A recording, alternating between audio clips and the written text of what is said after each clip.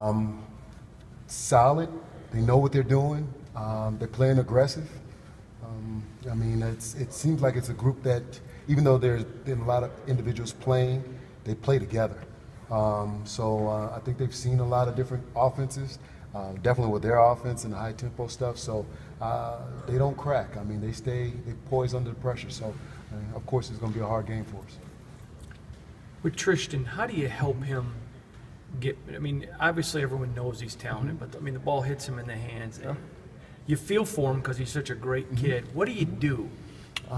Every day, I mean, you just, like I say, it's just trying to breathe confidence in the individual. I mean, that's the only thing you can do within the, you know, as a coach is just try to make sure that he understands that, hey, I mean, these things happen. You have to bounce back. You got to move forward. You just got to keep driving to, to play your best game when, when your best game's needed.